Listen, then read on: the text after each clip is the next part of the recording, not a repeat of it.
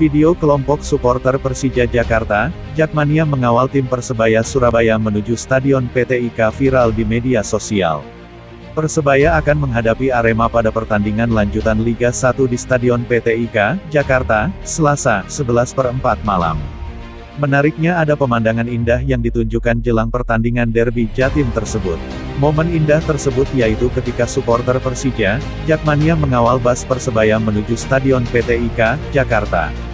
Video tersebut diunggah oleh ofisial tim Persebaya Ram Surahman lewat akun Twitternya pada Selasa, 11 per 4 malam. Dalam video tersebut tampak sejumlah jakmania yang menggunakan sepeda motor melaju di depan bus Persebaya untuk mengawal menuju Stadion PT IKA.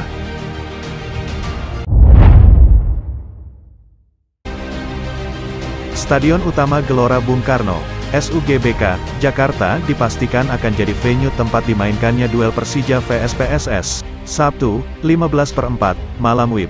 Persija vs PSS sebelumnya direncanakan dimainkan di Stadion Patriot Candrabaga, Bekasi. Namun berkat diskusi dari pihak Persija dan juga Jakmania, keputusan venue pertandingan pun akhirnya diubah. Sejauh ini baru ada pernyataan dari Ketua Umum Jakmania, Diki Sumarno yang soal SUGBK akan dipakai tempat menggelar laga Persija vs PSS, 60 tibu tiket akan dijual. Laga terakhir musim ini juga jadi penentu Persija jadi runner-up Liga 1 musim ini. Wah bakal rame nih.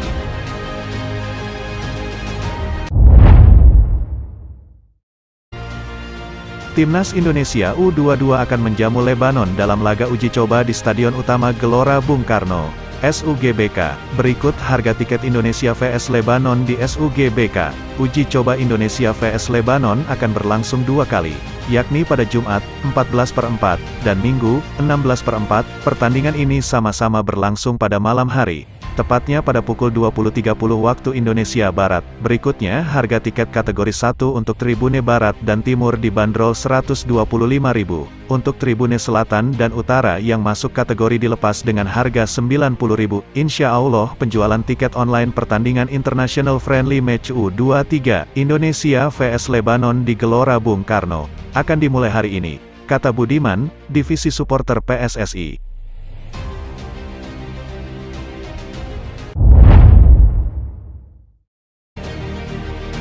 Indonesia U22 bermain imbang 1-1 dengan Bayangkara FC dalam laga uji tanding dalam rangka persiapan menuju SEA Games 2023 di Stadion Madia Kompleks Gelora Bung Karno. Selasa, 11 per 4, dalam laga tersebut skuad Garuda Muda unggul lebih dulu berkat gol Titan Agung ketika pertandingan baru berlangsung 5 menit. Keunggulan cepat timnas Indonesia U22 tak berlanjut dengan gol-gol lain dari anak asuh Indra Syafri. Bayangkara menyamakan kedudukan pada pertengahan babak kedua, tepatnya pada menit ke-75, melalui Dendi Sulistiawan yang merupakan salah satu pemain timnas Indonesia senior laga uji tanding melawan Bayangkara FC adalah yang pertama dilakukan timnas Indonesia U22 setelah menjalani pemusatan latihan sejak tanggal 1 April. Hasil yang belum maksimal karena pertandingan perdana, semoga dapat kemenangan daat lawan Libanon.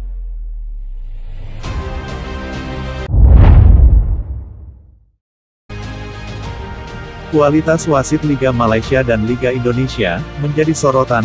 Wasit di Liga Malaysia jarang membuat kontroversi, kalau di Liga 1 ia tahu sendirilah. Lantas berapakah gaji wasit di Liga Malaysia, menurut akun orang FAM? Gaji wasit utama Rp500 kalau dirupiahkan sekitar Rp1.600 dan asisten wasit Rp400 atau 1,4 juta rupiah. Murah sekali, bayaran wasit per match di liga tetangga lagi serumpun ini.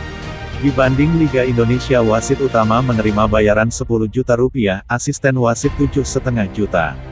Mahal ya tapi sering kontroversi, jadi kualitas wasit tak tergantung uang tapi kejujuran dan kecerdasan wasit dalam memimpin suatu pertandingan.